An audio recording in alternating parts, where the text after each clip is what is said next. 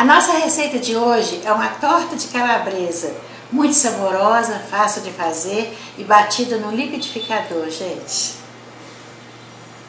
Os ingredientes que nós vamos usar para a nossa receita: para a massa, um copo de leite comum, 3 copos de farinha de trigo, aqui tem 400 gramas de farinha de trigo, tá? 3 colheres de sopa de fubá, uma lata de milho verde, 3 ovos inteiros, uma colher de sopa de manteiga ou margarina. Aqui nós temos uma pitada de sal, uma pitada de pimenta do reino em pó e uma pitada de orégano. Uma colher de café de açúcar, uma colher de sopa de fermento em pó para bolo e seis colheres de sopa de óleo. Para o recheio nós vamos usar queijo mussarela cortado em cubos, bacon à vontade. Aqui nós fritamos ele, tá? É só você colocar na panela pequena e ele frita, não precisa colocar óleo nem gordura, porque o bacon já tem a sua própria gordura. Aqui a linguiça calabresa, ela é cozida e defumada. Se ela não for pré-cozida, você frita também. É muito fácil de fritar, tá? Sempre cortando pedaços pequenos. Cheiro verde à vontade. Um tomate médio picado, sem sementes. Não pode colocar semente não, porque o tomate solta água. Então, quanto menos caldo ele estiver, melhor, olha queijo parmesão ralado à vontade, pimentão verde à vontade. E aqui opcional no recheio, você pode colocar orégano, pimenta do reino em pó e uma pitada de sal. Em uma tigela nós colocamos a farinha de trigo, os três copos, tá? Colocamos o fubá, o açúcar, a pimenta do reino em pó, o orégano e o sal e o fermento em pó para bolo. Nessa receita nós não colocamos o fermento no final não, tá? Colocamos neste momento aqui. Misturamos bem. No liquidificador colocamos os ovos, o leite, o óleo, a manteiga ou margarina.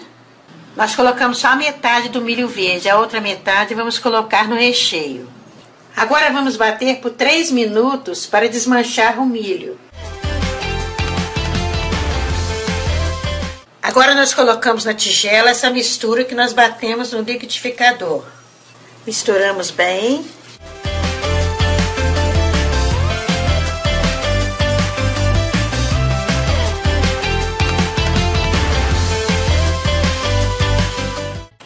Aqui, gente, fica nessa consistência, olha.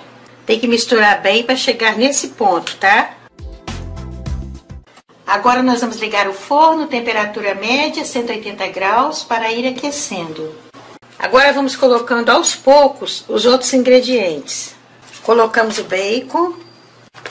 Essa torta é muito gostosa, gente. Colocamos a calabresa. O pimentão. O pimentão é opcional, se você não gostar, não precisa de colocar, tá? O cheiro verde.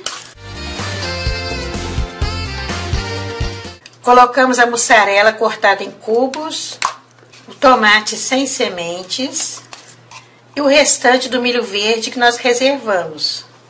Misturamos bem.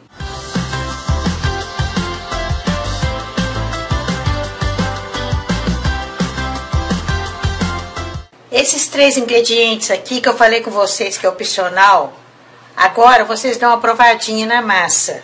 Se estiver precisando de mais tempero, vocês colocam.